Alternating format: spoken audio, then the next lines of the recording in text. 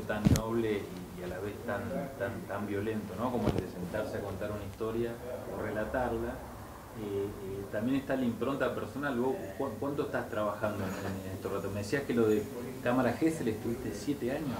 Yo estuve siete años con Cámara Gesell. En el medio creo que salió eh, el oficinista y salió también un maestro que fue como un paréntesis, como un zapping ahí. Siete años. Yo me había propuesto escribir una carilla por día. No pasar la carilla A4 a un espacio si me pasaba una línea, va de nuevo, toma dos, y va al corte. Eh, y lo que me interesaba de Villa Gesell, el lugar donde, donde yo vivía, donde vivo, es, eh, aunque ahora circunstancialmente estoy más en Buenos Aires, escuchar al criollo que labura en el corralón, prestarle atención a la señora de clase media que va a la peluquería, prestarle atención al hotelero, prestarle atención a los pibes que vos sabés que son pibes chorros, escuchar todas las voces, lo que se llama una situación, digamos, de búsqueda polifónica.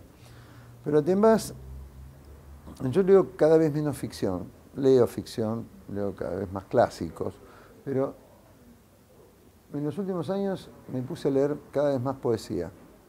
En general trato de leer poesía, cuando es poesía extranjera, en ediciones bilingües para cotejar la traducción. Porque creo que un problema que tienen los narradores, una dificultad, los narradores no leen a veces otra cosa que narrativa. Entonces quedan como encapsulados en su propio gallinero, ¿no? Te quedas ahí preso.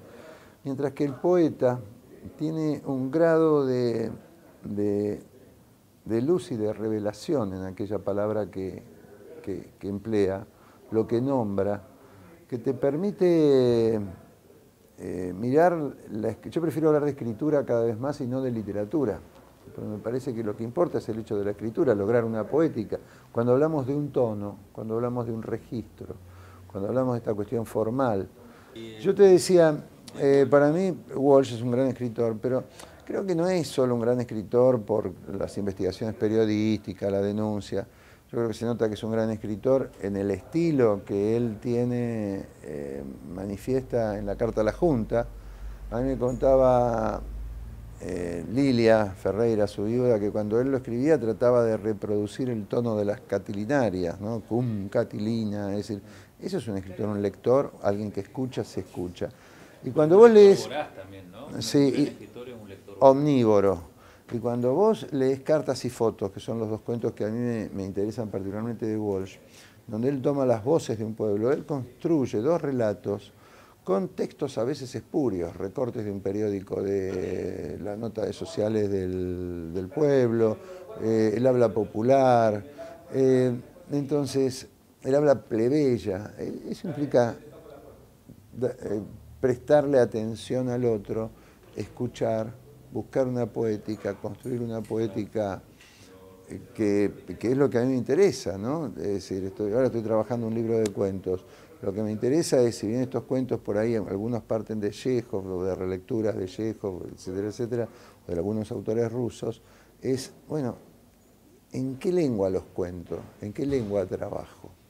Y la poesía te permite ver esto. Yo, por ejemplo, hay poetas que admiro como Diana Bellesi, que es una gran poeta, y que leo con menuda atención. Calveira, ¿no? no solo Hellman, los que son ya como consagrados, sino hay una cantidad de poetas jóvenes que son muy interesantes. Eh, los poetas tienen una movida muy, sostienen movidas mucho más, más solidarias a veces que los narradores, eh, eh, se reúnen, se leen, recitan. Entonces me parece que ahí en la poesía hay una búsqueda que creo que de la cual los narradores tenemos que aprender. Y esto no quiere decir escribir prosa poética. Esto quiere decir eh, poder ganar en la precisión y en la contundencia y en la eficacia de aquello que buscamos contar. Vos me contabas recién de eh, tu interés por documentar las mujeres jóvenes que trabajan en los basurales.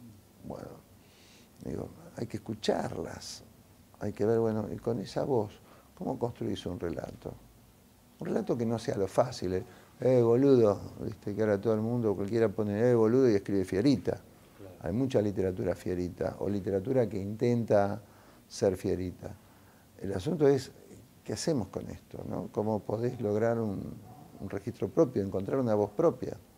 Eh, creo también no sé si esto es claro o me voy por las ramas. Yo quiero plantearte el hecho también de, la, de, que nos, nos ayudes a, a entender esa, esa métrica de trabajo también en el aspecto de que sos un lector voraz, ¿no? Me refería a eso, digamos, uno lo nombra a Walsh o nombra, no sé, a ponerle algún, algún, eh, algún pope, ¿no? En el, en el, buen sentido, digamos, tipos que han marcado, y son lectores voraces, digamos, bibliotecas enteras. Pero Walsh es autor de una antología del cuento extraño en cuatro o cinco tomos que ahora se volvió a editar, donde eh, le pasa por encima a la antología de literatura fantástica de Borges, Bioy y Celino Campo. Es un laburo monumental que había publicado Ayet en cinco o seis tomos. Es una búsqueda de literatura fantástica extraordinaria, donde él opera como traductor e introductor de cada uno de los relatos. O sea que cuando decimos Walsh, Walsh es Walsh no por las investigaciones solamente, eso puede hablar de los cojones del valor intelectual de Walsh, pero también había una fruición había un gusto por la palabra, un gusto por la escritura. Eso, yo creo que un escritor se conforma con dos experiencias, la experiencia de lectura y la experiencia vital. Pero si no tenés la experiencia de lectura, con lo que te pasó solamente no vas a escribir un cuento ni, una novela. ¿Sabes qué? Eh, a, ver si me, ayudas con esta. Eh, hacía poquito descubrí eh, de rebote, unos cuentos infantiles hechos por, este, por, el, autor del, Eternauta, ¿no? por Oestergel. Yo no sabía que escribía también literatura infantil. Era un gran autor de literatura infantil. Eh, bueno, yo no creo en la distinción de género, no creo en esto de literatura infantil, juvenil, como se dice ahora. No, yo no, no, no, yo lo aclaro. Lo, aclaro. No, eh, con Carlos Trillo le hicimos el último reportaje en vida. Yo lo, conocimos a que yo lo conocí, no puedo decir que era su amigo, era un maestro, compartimos un trabajo, compartimos, fuimos colaboradores de la misma editorial, ¿no? En dos editoriales.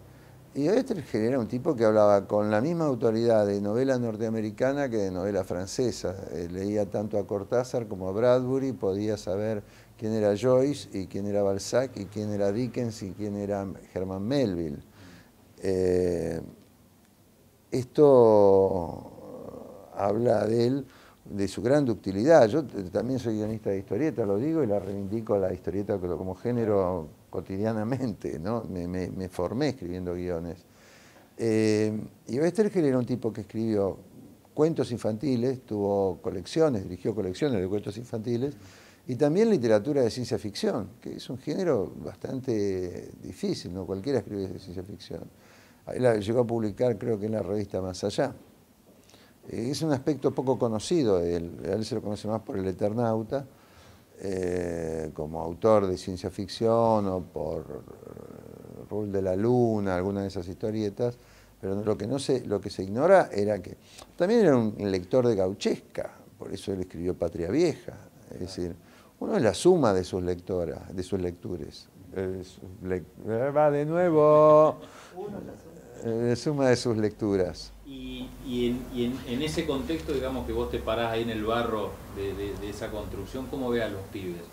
Te traigo por lo que relatás en, en Gessel, que es lo último que leí. Mira, yo leo, leo, leo lo que producen ah, muchos autores jóvenes. O sea, digo que no leo, pero leo, porque estoy informado, ¿no? Em, también porque doy taller.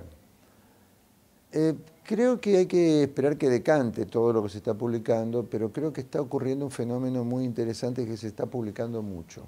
Hay muchas pequeñas editoriales, yo estoy en una editorial grande, otros compañeros míos de mi edad ya, cincuentones o sesentones, estamos ya en editoriales... Eh, como te podría decir, de cierta magnitud, los pools, eh, Planeta, Random.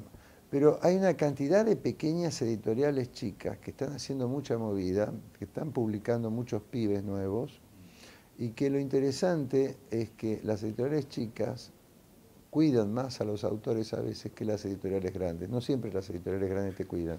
A mí me siento muy bien tratado en la editorial que estoy. Ya hace años, es una relación de amistad, conozco... Eh, mis editores eh, son, er, eran jóvenes cuando yo empezaba también. Pero estas nuevas editoriales eh, también hablan de nuevos autores, ¿no? Eh, Federico Falco, Pedro Mairal, eh, Fernanda García Lao, Violeta Gorodischer, te puedo nombrar una Gabriela Cabezón Cámara, te puedo nombrar una cantidad de, y voy a dejar afuera unos cuantos, ¿no?